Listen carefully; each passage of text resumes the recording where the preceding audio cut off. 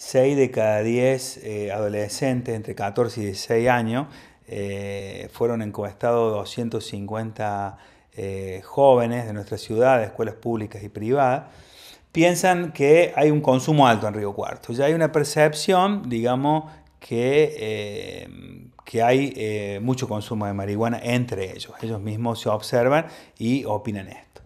También 4 de cada 10 dice que es eh, muy fácil conseguir la sustancia en nuestra ciudad. 4 eh, de cada 10 ven como regular o bajo la peligrosidad, o sea que hay una baja percepción de riesgo. 2 eh, de cada 10 están de acuerdo que las personas que consumen los fines de semana no terminan con problemas por consumir marihuana. 6 de cada 10 conocen a una persona que consume con frecuencia.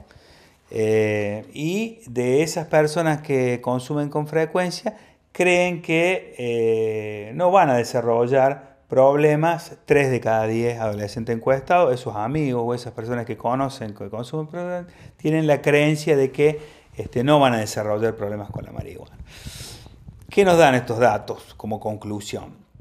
Que hay una baja percepción de riesgo con relación al consumo de marihuana, y que hay una alta tolerancia social con relación a eh, este consumo. Lo vemos a diario por familias que nos consultan, donde los padres eh, se notan como que, bueno, por fumar marihuana no sería el problema, sino que pasen a otras drogas más, más duras o, o cocaína u otro tipo de problema.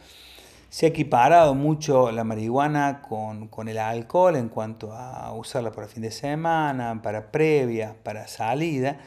Eh, entre los mismos adolescentes están tolerancia, conviven los que consumen, los que no consumen, este, y digamos, cada cual hace la suya. O sea, esta alta tolerancia social y baja percepción de riesgo, obviamente son factores de riesgo que hacen que cada vez más personas este, consuman marihuana.